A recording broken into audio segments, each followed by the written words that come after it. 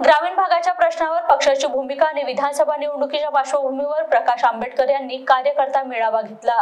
कार्यकर्त्यांना प्रशिक्षण दिलं. जरांगे पाटलाच्या मुद्द्यावर पत्रकारांशी बोलताना प्रकाश आंबेडकर म्हणाले की मनोज जरांगेंनी दोनशे अठ्ठेचाळीस जागा लढल्या पाहिजे आणि मला विश्वास आहे ते लढतील.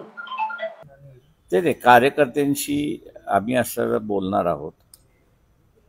आणि ज्या वेगवेगळ्या प्रश्न ग्रामीण भागातले आहेत आणि पक्षाची असणारी जी भूमिका आहे त्या संदर्भातलं प्रशिक्षण जे आहे ते कार्यकर्त्यांना आज आम्ही देतो.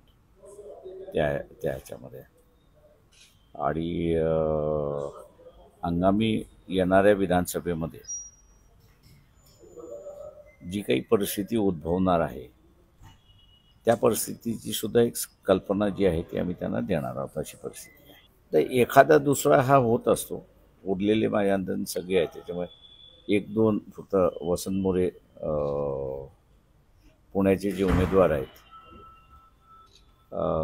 ते पुन्हा असताना उबाटा शिवसेनेमध्ये गेलेत.